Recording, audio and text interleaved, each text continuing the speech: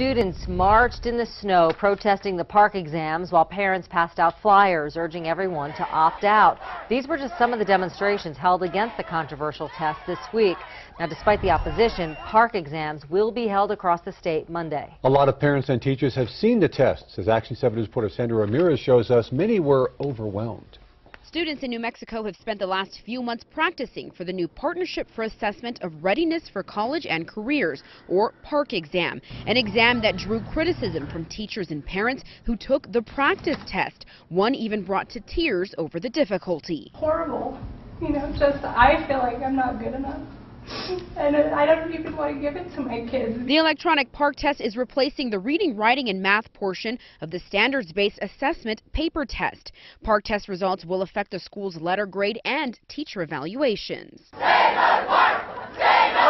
In the week leading up to the PARCC test, students protested at the Roundhouse and marched over to the Public Education Department to speak with Secretary Hanna Skandera.